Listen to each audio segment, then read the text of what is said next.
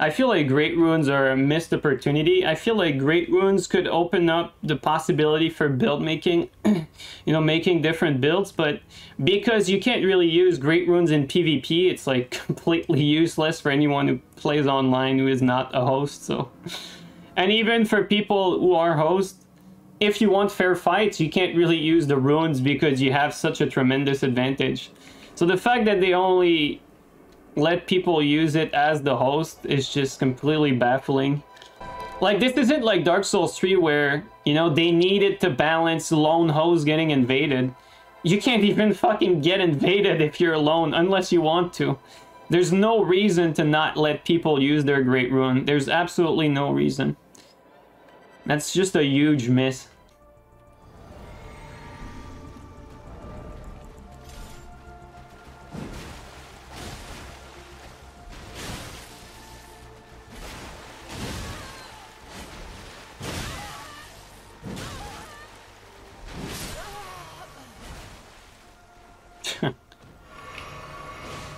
Oh, we had someone uh, hiding in the bushes. This, this fucking, these spears do a lot of damage.